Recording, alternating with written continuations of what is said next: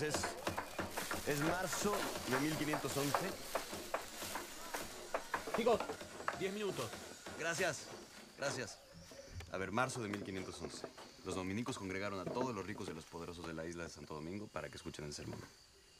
Ok. Eh, Bartolomé está por allí, sentado. Aquí. Sí, exacto, por aquí.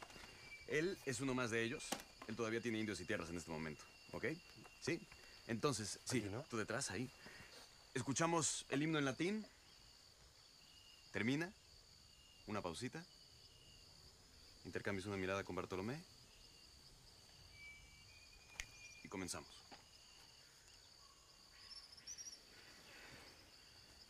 Los fariseos mandaron a alguien a preguntarle a San Juan Bautista quién era. Y este replicó, soy una voz que clama en medio del desierto. Los indios están extrayendo el oro con el que construimos nuestras ciudades, incluso nuestras iglesias.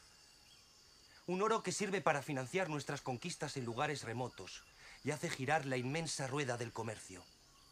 A todos nos alcanza el sudor de los indios, y a los que más, a su majestad y a sus obispos.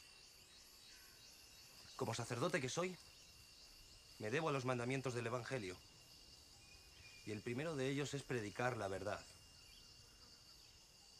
Yo soy la voz de Cristo en el desierto de esta isla, y estáis en pecado mortal. ¿Pero qué está diciendo? Ese hombre se ha vuelto loco. Vivís en pecado y en él morís. ¿Por qué?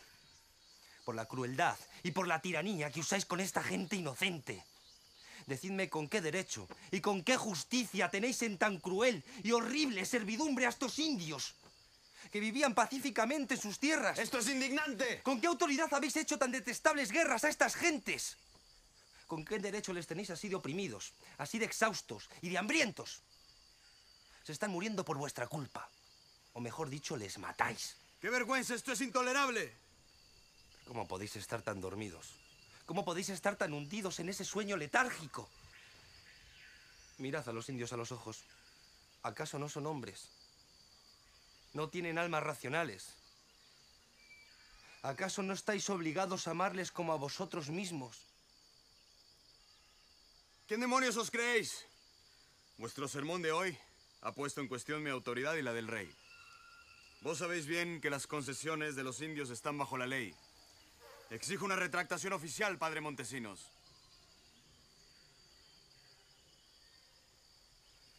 La verdad tiene a muchos en su contra.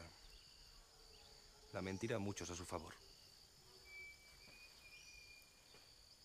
Esto es una ofensa capital. Colgadle, traidor. Que le quemen. Montesinos, vuélvete a España antes de que te cortemos la lengua.